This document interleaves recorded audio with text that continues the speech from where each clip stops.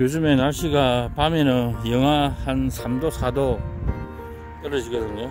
어, 파시로 한 어, 20, 한 6도 전으로요 그렇다 보니까 지금 뭐 나머지 마늘도 괜찮고 모종도 괜찮고 시금치도 괜찮은데 지금 상추가 뭐 날씨가 좋으면 들어 괜찮겠죠. 근데 너무 추우면은 조제에서는 또 조그맣게 하우스를 해가지고 상추는 뜯어 먹었는데 지금 물을 트니까 보세요 얼음이 나와.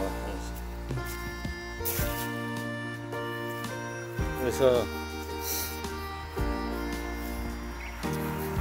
우리 어머니 하도 잔소리해서 그리고 여기 지금 상추가 토끼들이 토끼들이 다 뜯어 먹었어요. 괜찮은 거 뜯어가고 있거든요 제가 어제 어, 토끼인 줄 알고 총을 쏘았는데 집안에서 잡고 보니까 비버더라고요. 근데 메릴랜드 델라웨어 쪽에서는 비버 사냥하는 것은 불법입니다. 그래서 불법이라 할수 없죠. 제 땅에서 죽여도 불법이고 한데 제가 알고 죽인 것도 아니고 토끼라고 쏘았는데 보니까 비버인 게 어떻게 해요. 어 그래서 뭐 어쩔 수 없이 버렸고요. 지금 토끼가 막 계속 와가지고 이거 멀리서 보면요 토끼하고 피부하고 머리 보면은 표가 안 나요. 싹다 뜯은 모습 새로 손이 나는데. 이걸 지금 옮기고 있습니다. 표를 뜯어먹을 거라 안 그러면은 피부하고 토끼한테 다 뺏기거든요. 어, 무도 제법 컸죠? 무가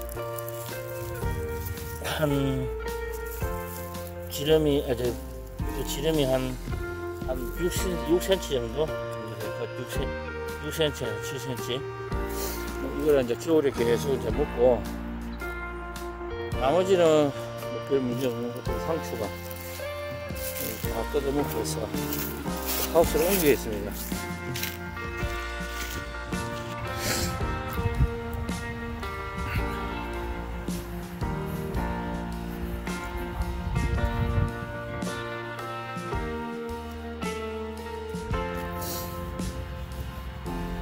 이는 겨울에 계속 먹을 수 있지.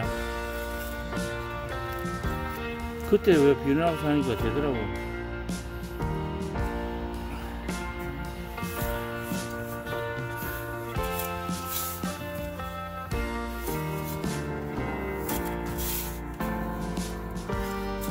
이거 비닐하우스 지어가지고 모종 넣고 처음으로 지금 심는 게 상추입니다.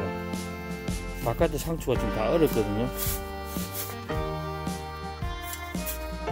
그러면 이제 겨울 내에 뜯어 먹을 수 있겠죠.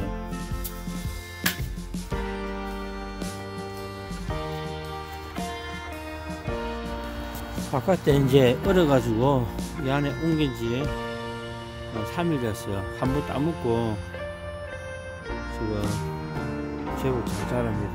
그래서 밖에 좀 더 있는 거를 여기로 다시 옮길 거예요. 그러면 겨울 내에 어, 상추는 뜯어 먹겠죠.